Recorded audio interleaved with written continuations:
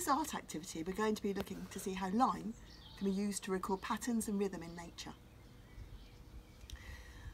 We're going to need a clipboard, some paper, pencil, a selection of fallen leaves, some paints and a leaf identification chart or guide.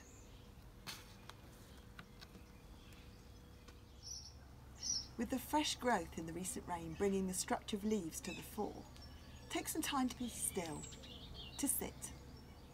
Listen to the sounds around you. What sound is the furthest away? Bring the sound focus closer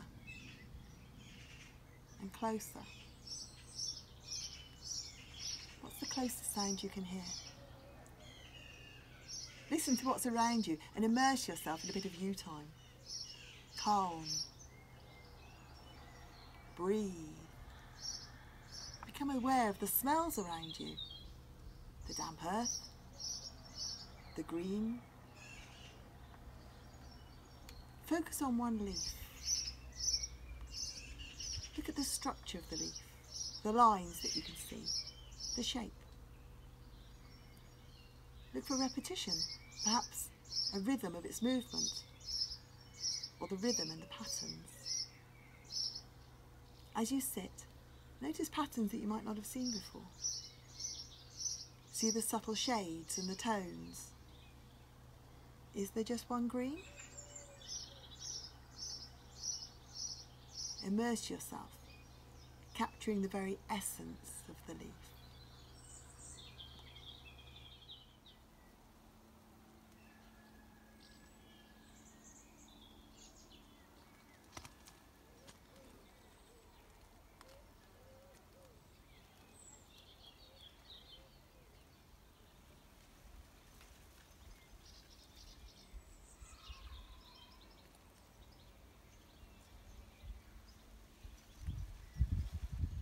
Think of some naturally occurring rhythmical sounds in nature.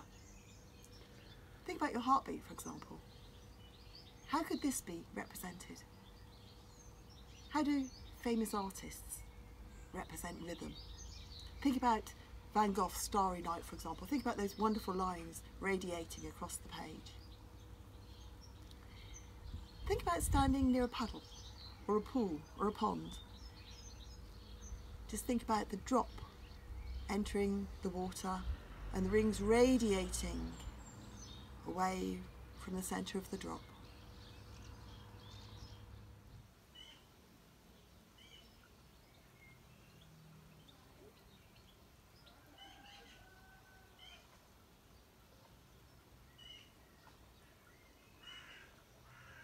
How could you represent those radiating rings?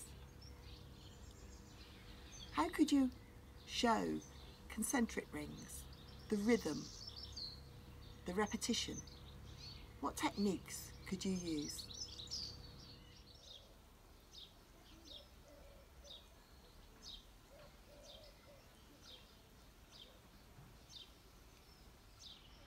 So how can we create or recreate or capture the rhythm? Using two or three leaves, Place them onto a page.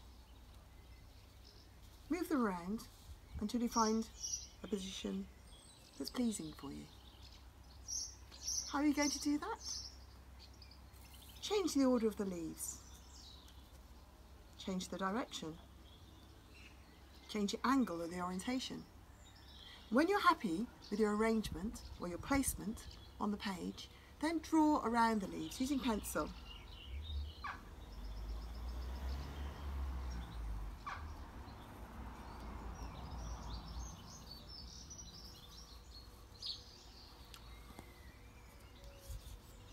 Gently move them.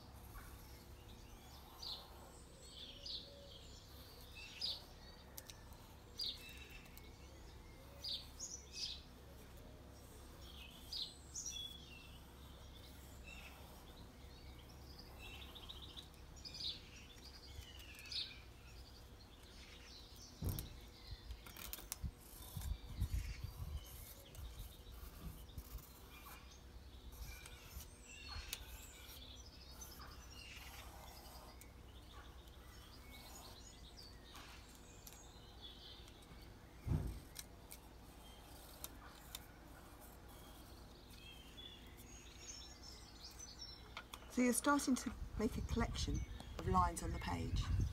So how could this pattern be mimicked in order to create a rhythm?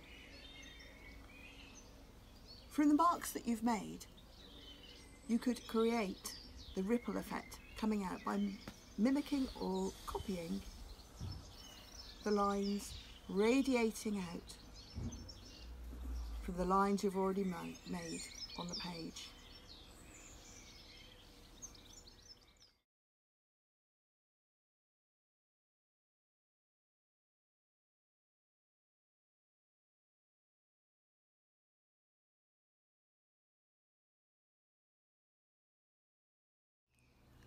To make the lines stand out a wee bit more, use a permanent marker or a black pen to go over the outline of your original leaves.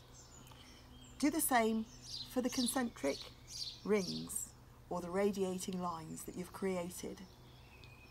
If you want to add a bit more detail, you could actually take one of the leaves and copy the actual lines that you can see on the leaf, but keep it really simple. You can colour maybe just one or two elements. And back in the classroom, for example, you could use drama to try and perform these rhythms to communicate a feeling or a message about the nature that you've discovered. I'm sure you'll take this idea far further